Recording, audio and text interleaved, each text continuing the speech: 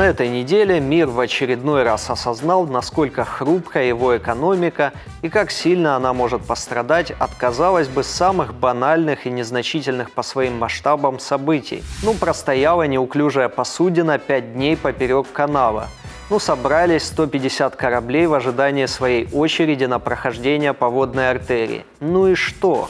Но вдумайтесь, эти потери вызваны всего лишь тем, что какая-то посудина перекрыла рукотворную водную артерию. И смех, и грех, и кулинария. По прочтении этой забавной истории так и хочется воскликнуть. Вот до чего доводит тщеславие и чревоугодие.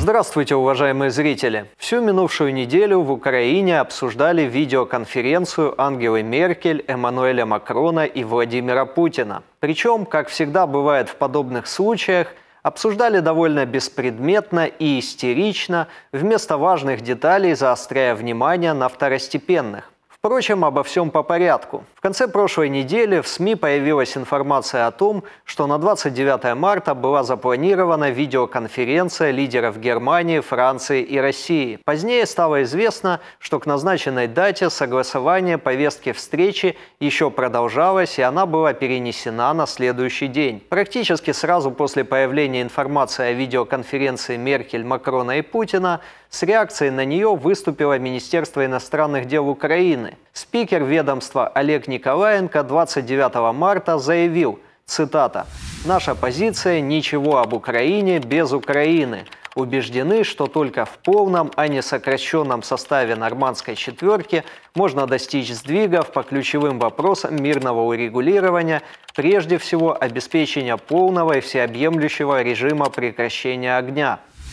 С одной стороны, заявление украинского МИДа понятно – так как изначально было очевидно, что среди тем переговоров российского, немецкого и французского лидеров будет в том числе и проблема мирного урегулирования на Донбассе. Но с другой стороны, откуда такая болезненная фиксация на себе? Ведь помимо Украины у Германии, Франции и России есть немало других тем для обсуждения. Взаимоотношения России с ЕС, позиция по ядерной сделке с Ираном, международное сотрудничество в вопросах преодоления пандемии и «Северный поток», наконец. В этой связи называть упомянутую видеоконференцию урезанным вариантом встреч в нормандском формате было бы неверно – и здесь в очередной раз проявился местечковый масштаб украинской дипломатии, не способной за деревьями разглядеть лес. Что же касается содержательной части видеоконференции, состоявшейся 30 марта, она заключалась в обсуждении вопросов борьбы с пандемией коронавируса, мирного урегулирования на Донбассе, политической обстановки в Беларуси, мирного урегулирования в Ливии, послевоенного восстановления в Сирии, позиции по ядерной сделке с Ираном, отношения России с ЕС, а также ситуации вокруг осужденного Алексея Навального – Сравнивая официальные сообщения по итогам встречи, опубликованные на сайте президента России и федерального канцлера Германии, можно заметить, что в них есть как совпадения, так и разночтения. Если по вопросам борьбы с пандемией, возможности регистрации в ЕС вакцины «Спутник Ви», иранской ядерной сделки, а также мирного урегулирования в Ливии и необходимости оказания гуманитарной помощи Сирии, серьезных разногласий между сторонами не возникло – то по остальным темам они явно прослеживаются. Так, на сайте немецкого канцлера сказано лишь о призыве продолжить переговоры в нормандском формате с целью обеспечения соблюдения Минских соглашений, в то время как в официальном сообщении пресс-службы Кремля значится, цитата, Президент России подчеркнул важность выполнения киевскими властями всех ранее достигнутых на высшем уровне договоренностей, прежде всего по налаживанию прямого диалога с Донецком и Луганском и урегулированию правовых аспектов особого статуса Донбасса. Также в версии российской стороны присутствует заявление о том, что эскалация вооруженного противостояния на линии соприкосновения происходит по инициативе украинской стороны. Расхождение позиций между европейскими и российскими лидерами по вопросу мирного урегулирования на Донбассе вполне предсказуемо и обусловлено политическими интересами сторон. Тем не менее, следует отметить, что и Россия, и Германия с Францией призывают к выполнению Минских соглашений, в то время как из Киева в последние полгода раздаются призывы к их пересмотру – Столь же прогнозируемо расхождение позиций Берлина с Парижем и Москвы по Беларуси. На сайте Ангелы Меркель о ней сказано следующее. Что касается Беларуси, канцлер и президент Франции высказались в пользу процесса общенационального инклюзивного диалога и свободных выборов – в то же время на сайте российского президента говорится о том, что он отметил недопустимость внешнего вмешательства во внутренние дела суверенного государства, имеется в виду Беларусь. Как видим, даже спустя полгода после неудавшейся попытки цветной революции в Минске, ключевые страны ЕС и Россия придерживаются принципиально разной позиции по данному вопросу. Впрочем, позиция Москвы здесь более прочна, так как с ее помощью Лукашенко все же удержал власть. Относительно Навального сайт российского президента сообщает лишь то, что европейским партнерам были даны соответствующие разъяснения объективных обстоятельств дела, то время как на сайте Ангелы Меркель сказано, цитата, Ссылаясь на дело Навального, федеральный канцлер и президент Франции также подчеркнули необходимость соблюдения прав человека и основных прав, закрепленных в Европейской конвенции о правах человека – Любопытно также, что в немецкой версии сообщения по итогам видеоконференции полностью отсутствовало упоминание об обсуждении взаимоотношений России и ЕС. По всей видимости, данную тему в Берлине предпочитают публично называть компетенцией Брюсселя. В целом же видеоконференция российского, немецкого и французского лидеров не принесла никаких дипломатических прорывов. По сути, она стала обычной сверкой часов – по ключевым вопросам международной политики, в которых присутствуют интересы Парижа, Берлина и Москвы. Ничего нового в позициях сторон по итогам этой встречи мы не увидели. То, о чем говорили лидеры Франции, Германии и России, проанализируем с политологом Александрой Решмедиловой. Здравствуйте, Александра. Здравствуйте, Даниил. Здравствуйте, любимые зрители телеканала КРТ.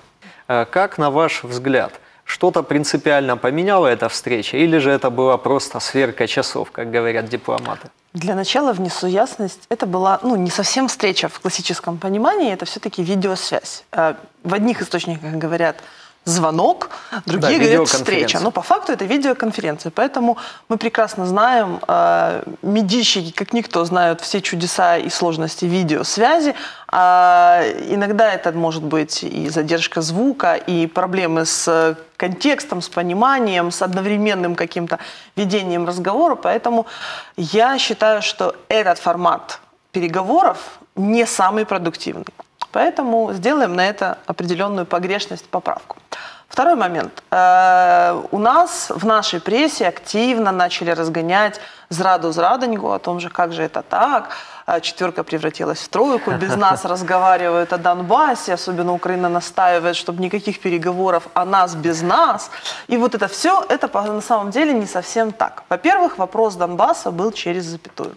И явно лидеры этих трех стран вели переговоры в первую очередь в связи с э, ковидом, с непосредственно э, локдаунами, обострениями и, конечно же, сертификацией э, российской вакцины «Спутник Ви». Это один из приоритетов переговорных процессов, особенно посмотрев на ситуацию, которая сложилась в Германии, а вы знаете, что Ангела Меркель несет очень сильные репутационные риски после жестких локдаунов – а, и даже сейчас в период э, вот как раз пасхальный были приняты решения сделать определенные послабления как для граждан, так и для бизнеса, всячески пытается сохранить и свой рейтинг, и рейтинг партии.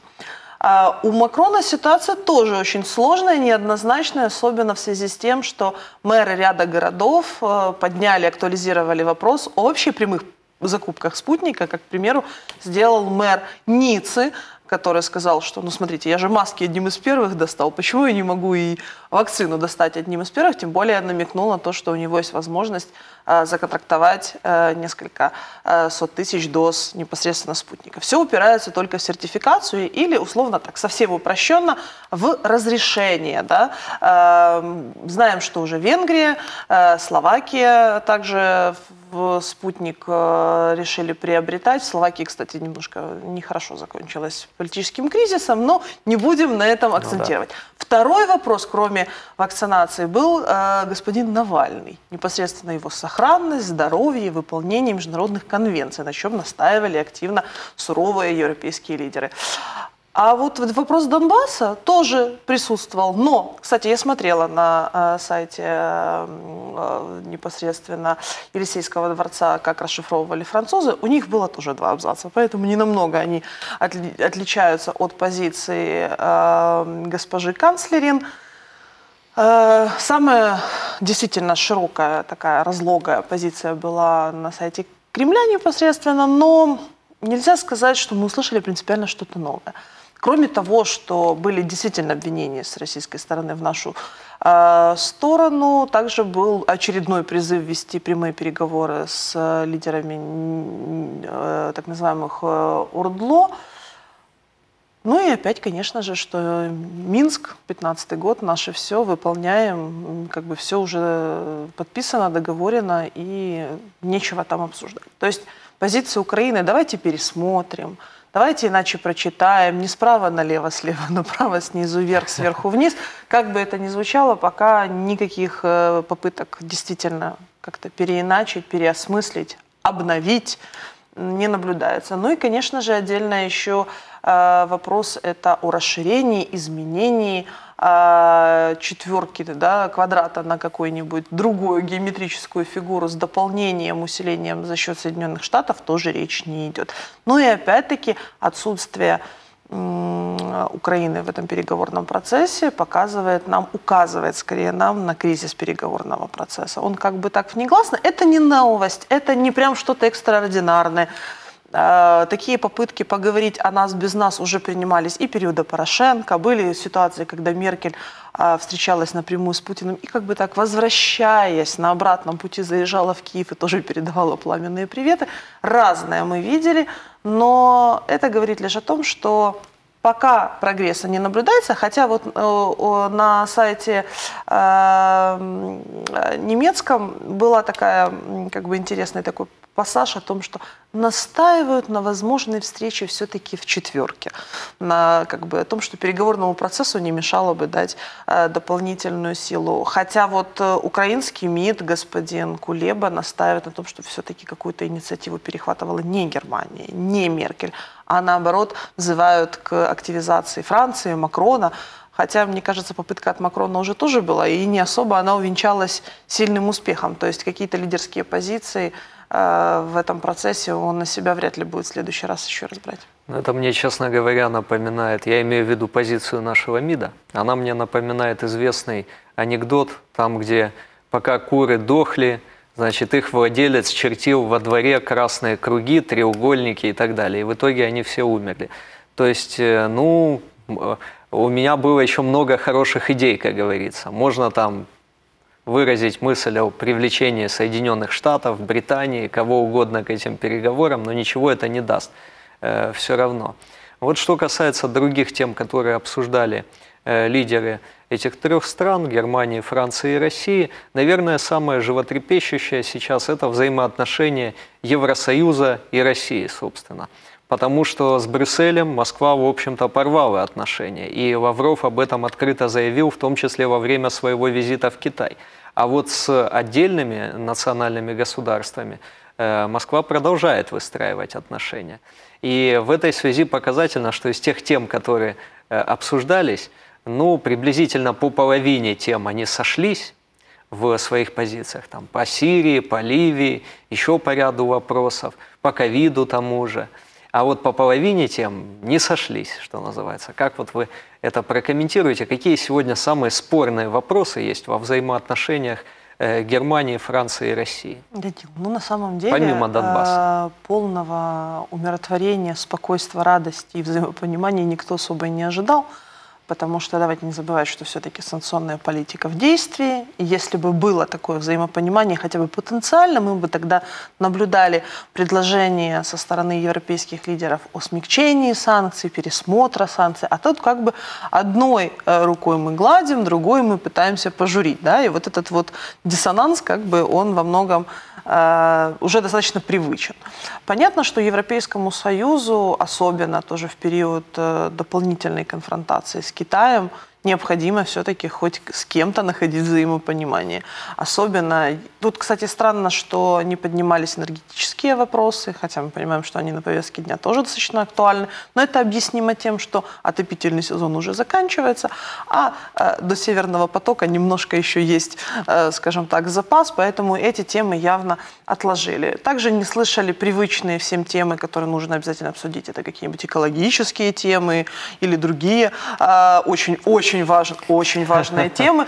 А, Все-таки здесь э, в связи с тем, что я так понимаю, что все лидеры имеют ограниченный э, ресурс временной, постарались компактно уложить самое животрепещущее. Конечно, они сошлись в вопросах а, прав и свобод человека и всего-всего-всего, что уходило в тему Навального, потому что давайте не забывать, что все-таки эта история повлекла за собой опять дополнительные санкции, которые надо было с серьезным первым лицом удерживать, и продолжается это как бы тема держаться ну, в той конве уже в привычной. Ничего нового по этому направлению мы как раз не услышали. Ну, кстати, вот про Навального интересно тоже, как пишут две стороны, что называется. Э, немцы написали о необходимости соблюдения всевозможных Конвенция, европейских да. конвенций, прав человека и так далее. А на сайте Кремля написано просто, что российская сторона проинформировала и иностранных партнеров о, состоянии, о положении да. Да, угу. вот, Навального. А, Данил, я хочу сказать, что убеждена, что как раз тема Навального везде, во всех э, таблоидах выносилась чуть ли не как первый приоритет, потому что если бы она была через запятую где-то в конце, то действительно создавалось бы впечатление, что найдено взаимопонимание. А этого же допускать ни в коем случае нельзя. Поэтому сначала нужно сказать, где есть непримиримые позиции, на этом акцентировать. И лишь потом уже переходить, что, между прочим, договорились о том, о том, о том, о том, о том. И вот здесь же как бы есть как бы какие-то общие точки соприкосновения. И уже немножко так чуть как бы вот так ниже к тексту, вдруг не все дочитают.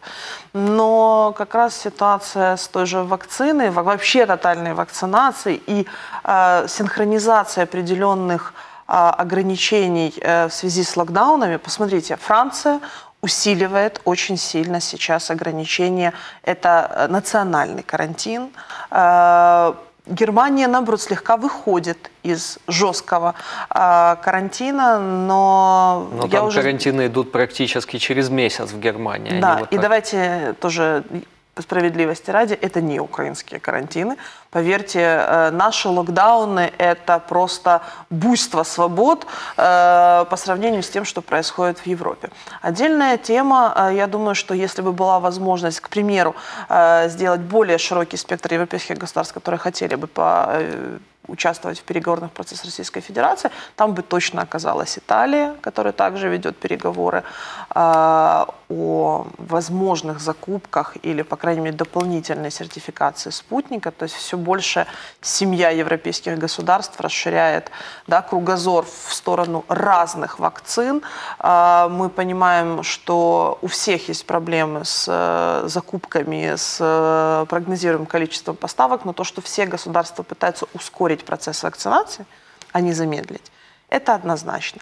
И сейчас э, в связи особенно с определенным ну, я не скажу, там, кризисом британской вакцины, да, AstraZeneca, которая переименовалась, и уже что она только не пробует сделать для того, чтобы улучшить свой имидж, явно э, есть опять, кстати, ряд фарм громких скандалов и во Франции, и в Германии. Эту тему надо выравнивать для того, чтобы не погрузнуть, не завязнуть в этих, скажем так, негативных темах. Вот поэтому лидеры стараются показать своему собственному избирателю. Поверьте, они не на украинского гражданина или не на российского настроены, они исключительно настроены на внутренние повестки, потому что Меркель явно понимает, что осенью выборы, и к ним надо готовиться очень усиленно, потому что с такой динамикой падения рейтингов можно, шутят уже, что зеленые будут канцлера выбирать.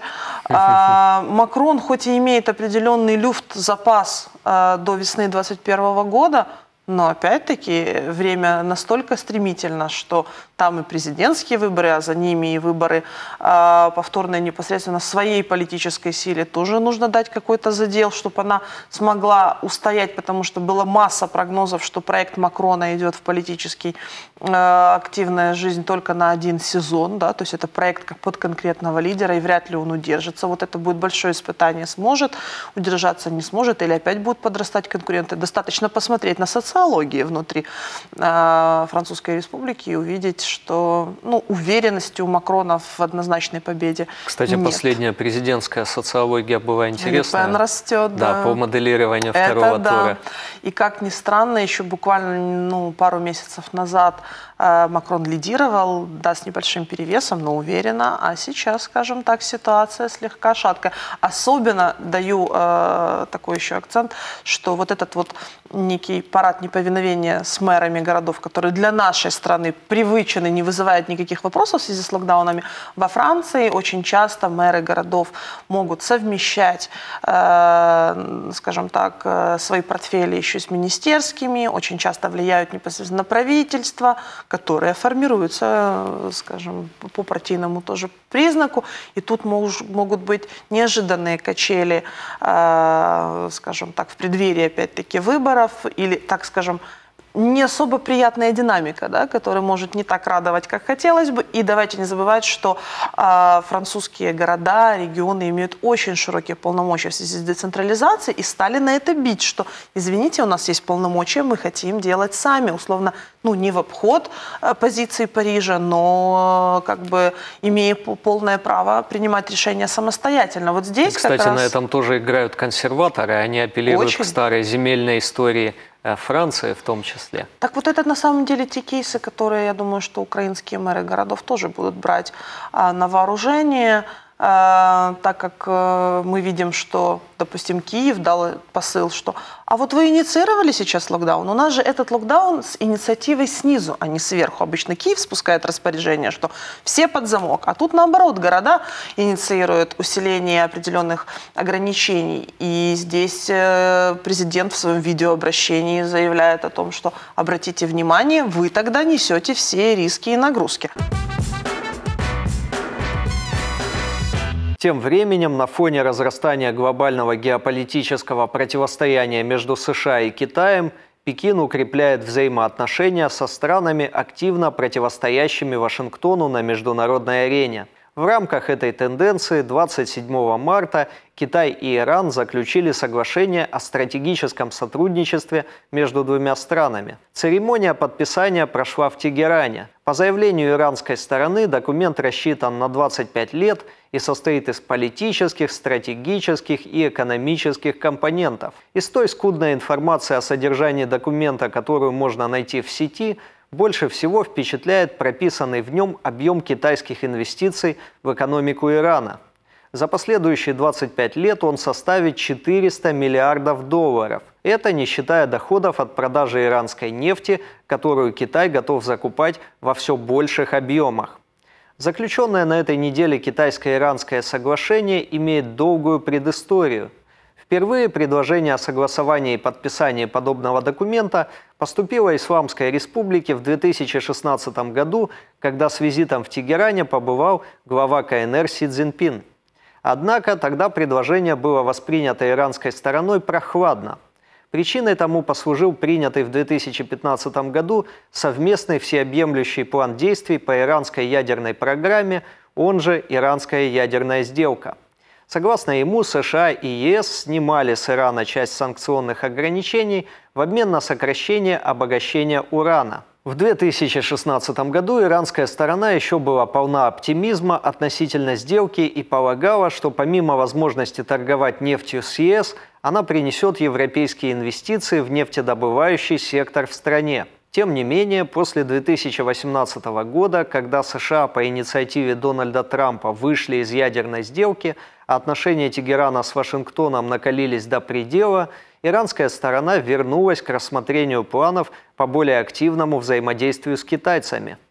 Особенно активно эти планы начали продвигаться в последнее время, когда на фоне восстановления китайской экономики после пандемии в Поднебесной резко выросло потребление нефти – Например, в марте текущего года Китай покупает 856 тысяч баррелей иранской нефти в день. Это самый высокий показатель закупок почти за два года и на 129% больше, чем в феврале. Такие данные приводит Кевин Райт, аналитик фирмы Kepler. Он учитывает перевалку с судна на судно на Ближнем Востоке и в водах Сингапура, Малайзии и Индонезии, скрывающие происхождение нефти – Китай покупает почти 12 миллионов баррелей нефти в сутки у разных поставщиков, а его потребности в нефти свыше 30 миллионов баррелей в сутки, что оставляет существенный потенциал для роста закупок, в том числе и у Ирана – Особенно привлекательной иранскую нефть для Китая делает скидка, обусловленная наложенными на Исламскую республику западными санкциями. В условиях, когда другие государства опасаются закупать иранскую нефть в больших объемах, боясь так называемых вторичных санкций со стороны США, Иран вынужден демпинговать, чтобы продать как можно больше сырья в Китай. В среднем иранская нефть обходится на 3-5 долларов дешевле марки Brent, Учитывая объемы, в которых Китай ее закупает, подобная скидка обеспечивает солидную экономию. Как пишет издание The New York Times, подписанное Пекином и Тегераном соглашение, скорее всего, совпадает с его проектом, полученным газетой в прошлом году. Далее цитата.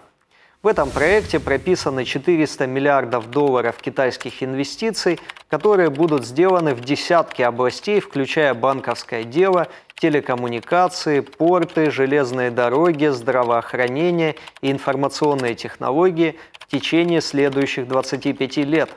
В обмен на это Китай получит регулярные и, по словам одного из иранских чиновников и нефтетрейдеров, очень выгодные благодаря скидке поставки иранской нефти – Говоря о международно-политическом значении заключенного соглашения, следует отметить, что оно существенно усилило переговорные позиции Ирана в вопросе возврата к условиям ядерной сделки с США. Напомним, реанимация данного документа – один из важнейших пунктов внешнеполитической программы американского президента Джо Байдена. Сейчас американцы настаивают на том, чтобы Иран в одностороннем порядке вернулся к соблюдению условий сделки, после чего они готовы будут начать переговоры о смягчении санкций.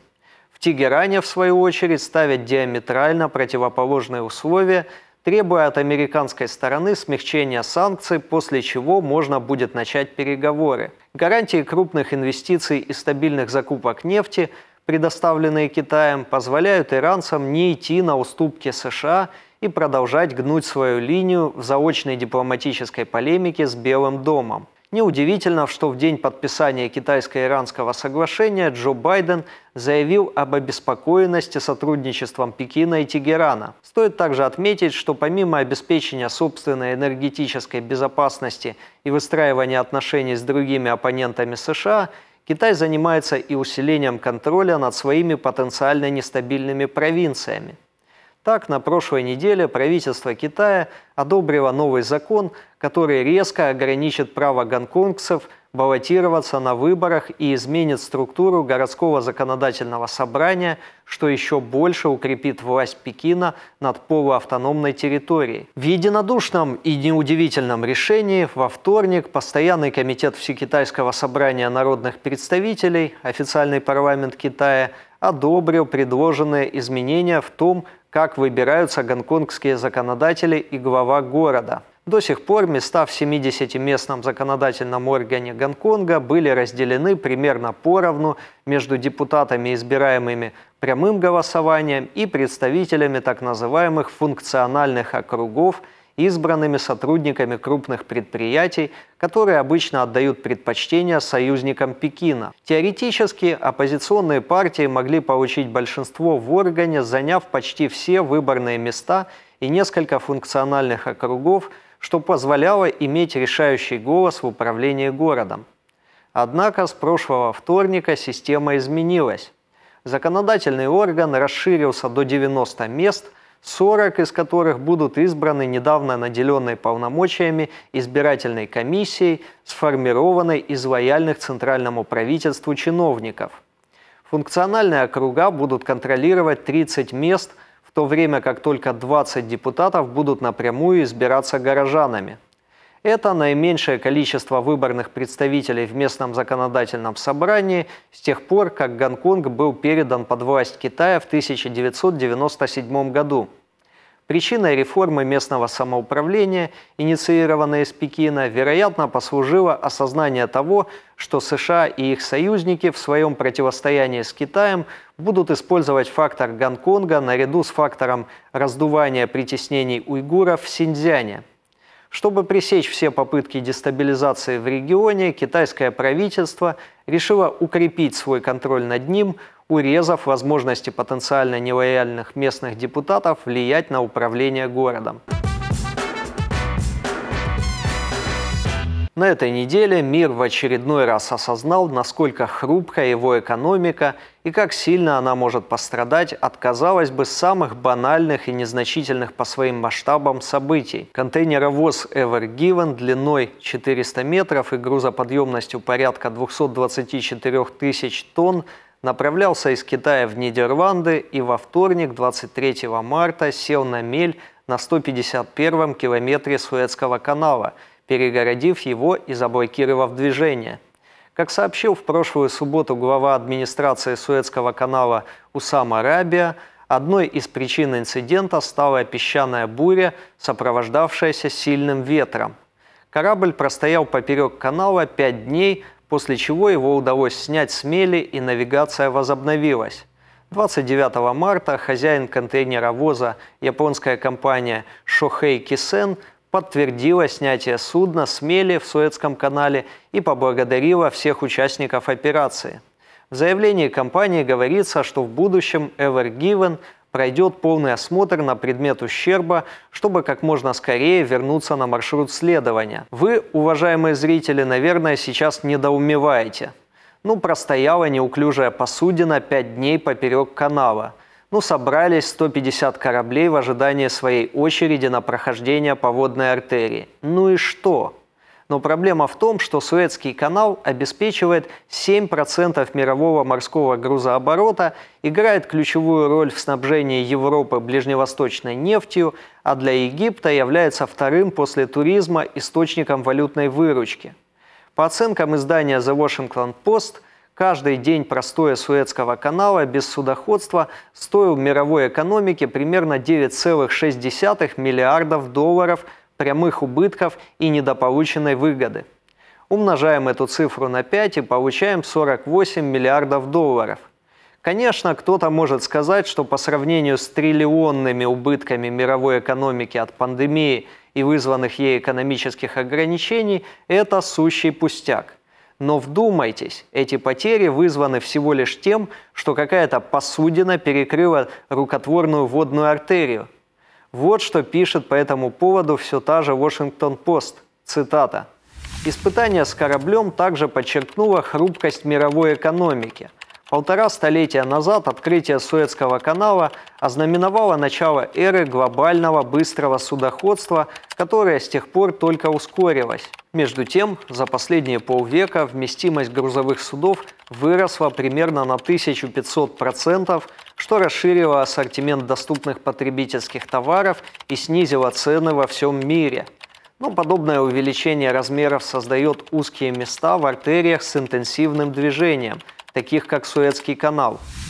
От себя добавим, что проблема не только и не столько в увеличении размеров торговых судов, сколько в том, что возможна ситуация, при которой существенный процент мировой торговли задерживается на время или попросту останавливается только потому, что торговые пути проходят в крайне уязвимых местах.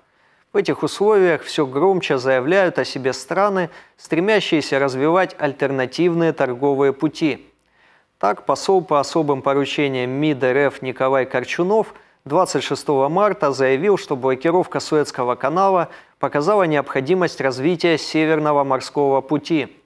Напомним, этот путь проходит в арктических водах вдоль северного побережья России, и в ближайшие несколько десятилетий судоходство по нему существенно упростится в связи с изменением климата и уменьшением ледового покрова – Разумеется, говорить о Северном морском пути или каком-то другом маршруте именно как об альтернативе Суэцкому каналу было бы неверно.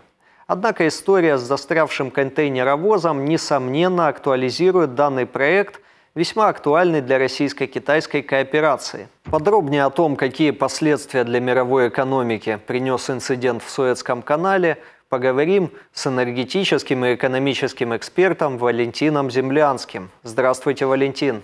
Добрый день, Данил.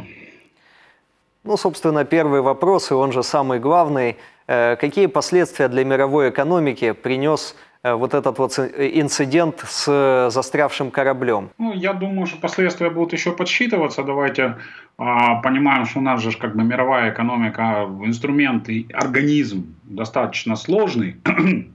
Вот, у нас страховки на страховке, поэтому я думаю, что это может не ограничиться той суммой, которую, которую вы назвали. Э, нефть показала рост, но не такой значительный, как это предполагалось, биржевыми спекулянтами. Естественно, что любые события форс-мажорного характера, а тем более вот такого почти там с э, элементами техногенной катастрофы, да, то есть перекрытия, перекрытия канала, естественно, биржа сыграла. Естественно, нефть, нефть пошла вверх, естественно, ну, то есть было, было вполне ожидаемо, но отскок произошел достаточно быстро, впрочем, как и ликвидация.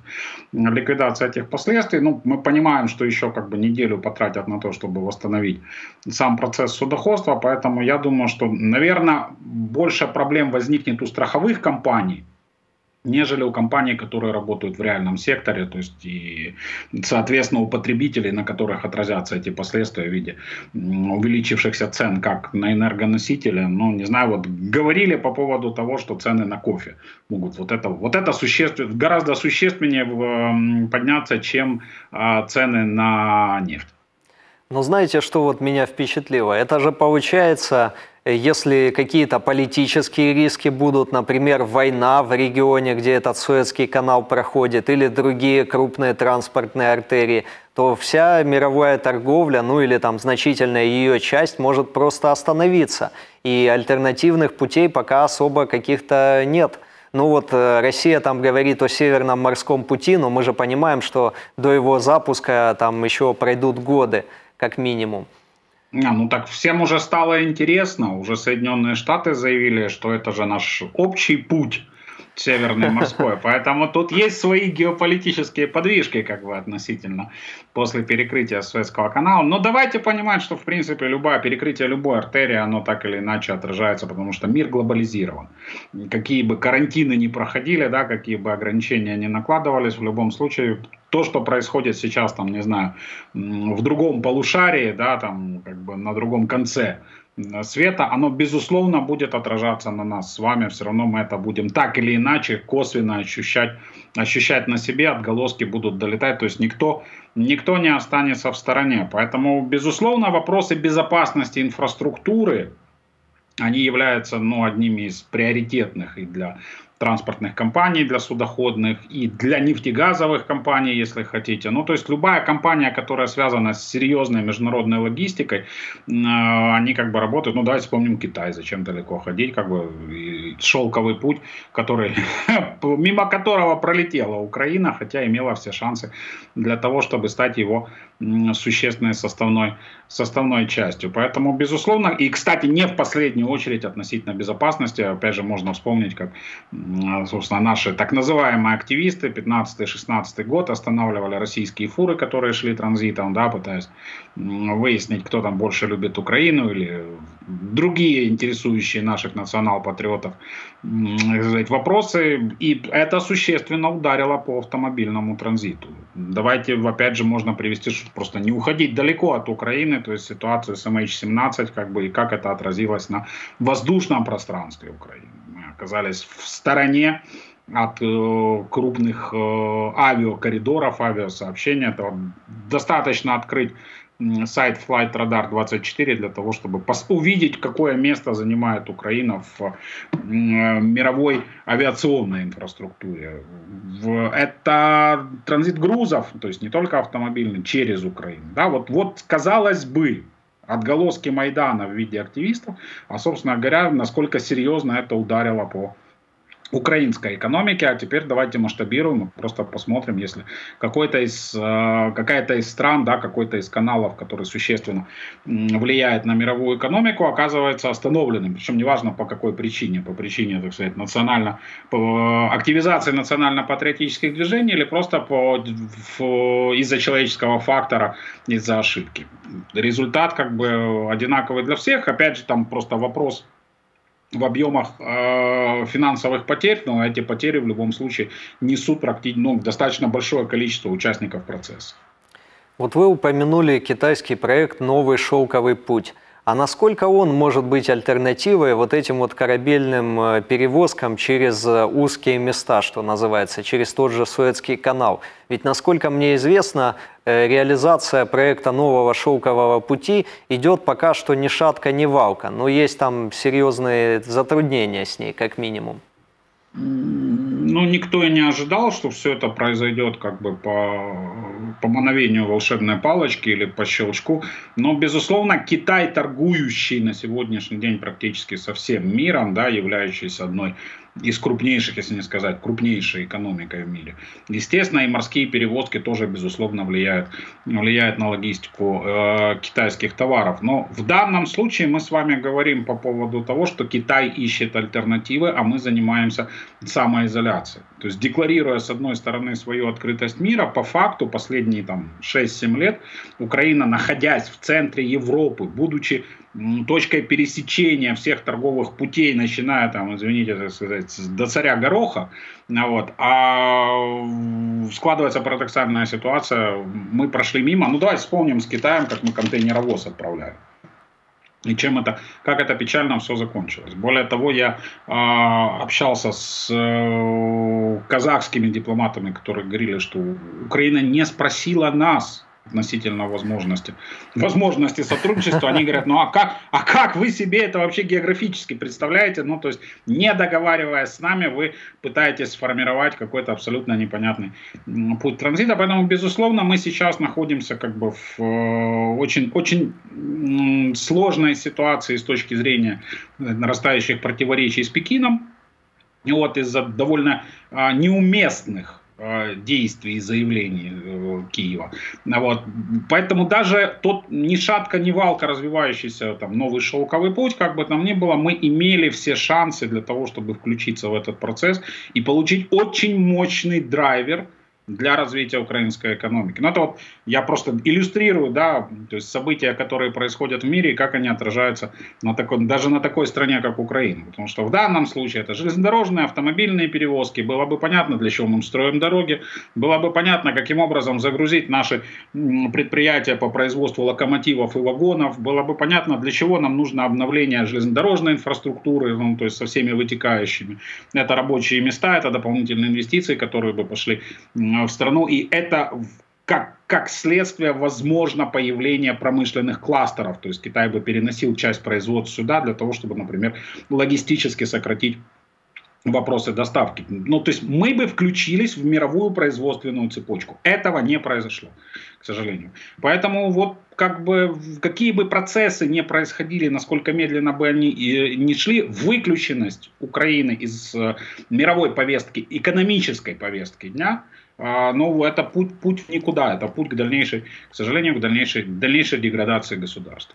Ну, продолжая поднятую вами тему самоизоляции Украины вот в таком транзитном плане, э, для меня всегда это было удивительно, потому что ведь для элит возможность сидеть на транзите – это возможность, что называется, воровать с прибылей – ну, то есть это же идеальная золотая жила. Почему наши элиты не хотят этим пользоваться? Или, может быть, не дают пользоваться? Может быть, проблема в наших западных партнерах все-таки? Или же в головах, я не знаю, там какие-то ну, психологические кажется, сложности? Данил, тут совокупность факторов, то есть, понятное дело, с одной стороны, очень мощное давление со стороны, в первую очередь, Вашингтона, как бы на э, киевскую администрацию, да, на украинскую администрацию, на украинскую власть, которая не дает возможности. Ну, в первую очередь, мы с вами будем, к сожалению, возвращаться, вот каждый раз говоря об экономике, я говорю об одном, мы будем возвращаться к конфликту с Российской Федерацией, будь то Донбасс, будь то Крым, тут уже как бы географические места значения не имеют. То есть до, до урегулированности этого вопроса нам сложно будет говорить о каком-то экономическом восстановлении. И вот, вот тут как бы можно ставить э, достаточно большую, большую жирную точку в вопросах перспектив, то есть пока не, э, не будет урегулирована политическая часть. С другой стороны, помимо влияния, так сказать, западных элит, давайте очень четко понимать, что с 2014 года у нас, к сожалению, властью принята на вооружение политика а, выбивания денег из э, населения. То есть население стало тем последним ресурсом, с которого можно, собственно говоря, формировать финансовые потоки и формировать на них соответствующие коррупционные схемы. То есть если раньше это происходило как раз за счет вот того, о чем вы говорите, за счет транзитных потоков, за счет экспортных потоков, то есть Украина достаточно активно экспортировала в ту же самую Российскую Федерацию, то есть вот этот мем про европейский рынок и европейскую ориентацию привел к э, потерям десятков миллиардов экспортных доходов. Ну, 14 миллиардов долларов экспорта в Россию мы так и не восстановили на сегодняшний. Поэтому у власти не остается просто другого выхода. Отсюда как бы мы с вами видим вот эти все истории с э, ростом цен тарифов на энергоносители, ростом цен внутри страны, потому что экономика продолжает коллапсировать, она не развивается. Политическая изоляция ведет к экономической изоляции, экономическая изоляция ведет к обнищанию и деградации в целом украинского народно-хозяйственного комплекса, я бы даже вот так вот сказал, то есть взял бы это как целостное, целостное явление. Так что, к сожалению, пока мои прогнозы весьма, весьма печальны, потому что, честно говоря, я не вижу в действиях власти никаких эм, обнадеживающих, да, хотя бы там и перспективных решений. То есть я не говорю о том, что нужно там побороть бездность, и э, стать там процветающей, промышленно развитой и так далее и тому подобное. Это очень долгий, кропотливый труд, но для этого необходимо закладывать базис. На сегодняшний день во власти нет людей, понимающих вообще значение слова «базис», как в политическом, так и экономическом значении. А вот в Доминикане на минувшей неделе произошла история, которую смело можно озаглавить «И смех, и грех, и кулинария. Как сообщает британское издание The Guardian, находящийся в бегах член мафиозной группировки был пойман в Карибском бассейне после того, как появился на YouTube в видеороликах о кулинарии, в которых он прятал лицо, но случайно показал свои характерные татуировки.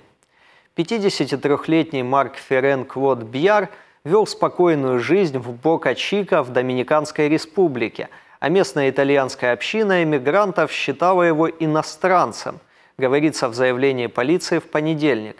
Его предательски выдал канал на YouTube, на котором беглый бандит демонстрировал свои итальянские кулинарные способности.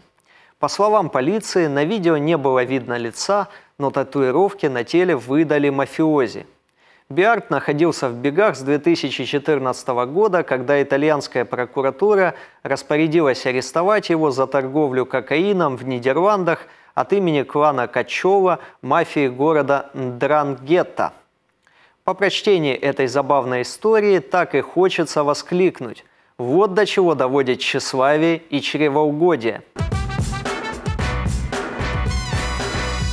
Ну а в Мьянме на этой неделе снова было не до смеха. Как сообщают СМИ, в ходе разгона протестов в этой стране, которые прошли в День вооруженных сил, были убиты более сотни человек. По данным правозащитников, с 1 февраля, когда власть в стране захватили военные, число погибших в столкновениях превысило 400 человек.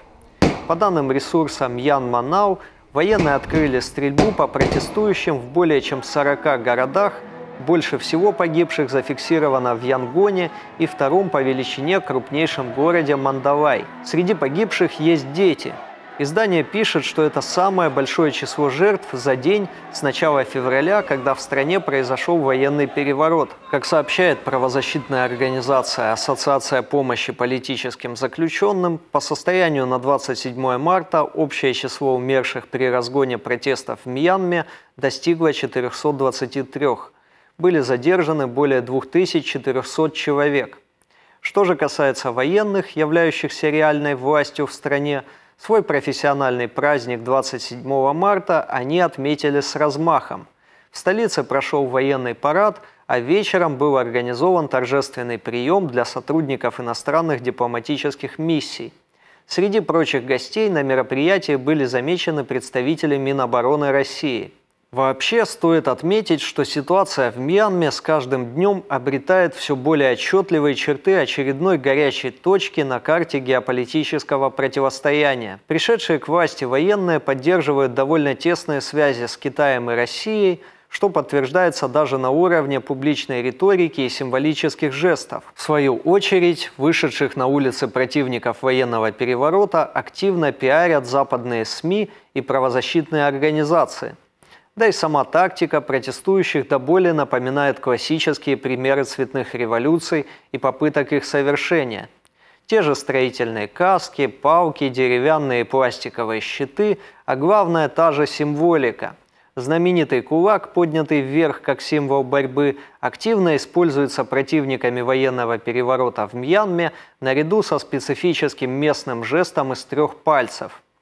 В общем, налицо поддержка протестующих со стороны Запада, а военного режима со стороны Китая и России. Удастся ли военным в Мьянме сохранить власть, покажет время – но пока можно утверждать, что все предпосылки к этому у них есть. А на этом наша передача подошла к концу. С вами была Международная панорама и я, Даниил Богатырев. До новых встреч на канале КРТ.